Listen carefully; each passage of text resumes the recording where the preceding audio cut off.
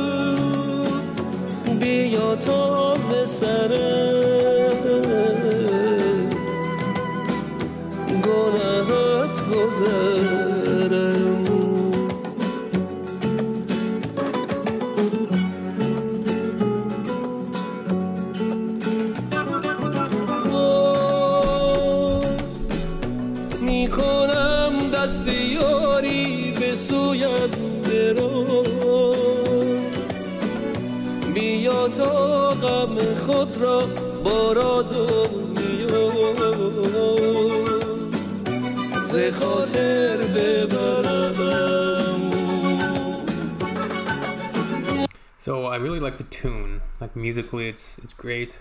It's got an upbeat uh, drum beat behind it, and, and, just the musicianship. And it's kind of a juxtaposition with the the music part of it, and then his melodies and his voice. Very powerful voice every Persian singer that I've seen so far is incredibly unique and separate from the other artists that I've heard. So yeah, this is cool. I like it.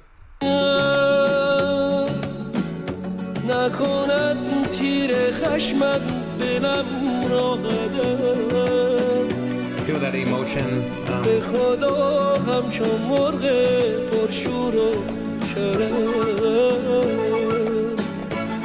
Số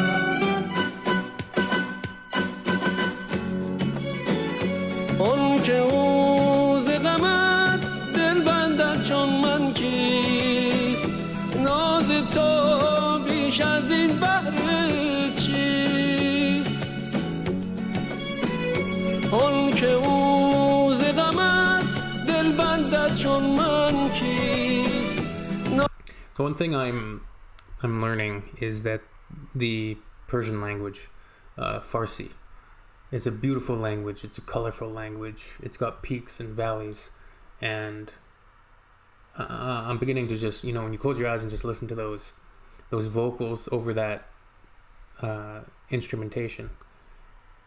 It's very unique, and like I said before, all of the artists have been a little bit different. So you go from a Mohsen Namjoo, who's doing some really, really sort of almost abstract, uh, avant-garde styles in parts of his songs, where he's emphasizing the the sounds and not focusing so much on the language. He's sort of emphasizing the phonetics and his his vocalizations uh, and doing something different. This, I would guess, is something more akin to traditional, but it also is upbeat. Um, and I love the instrumentation, the, the stringed instrument. I'm, I don't think that's a sitar, but sitar is one instrument that I love. It's got such a unique sound. Um, this is interesting, and but of course, at the end of the day, I can't understand it lyrically, but you learn to appreciate it, and uh, you recognize uh, the musicianship, the skill of the artist.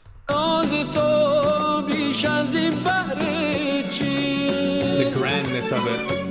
تو علاقه نازی در بزمم بنشین من تو را وفادارم بیا که جزی نباشد هنرم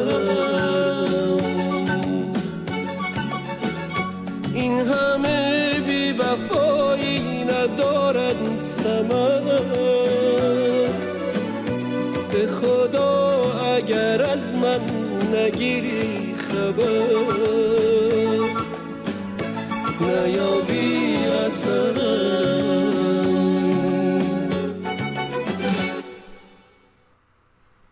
Right. Cool.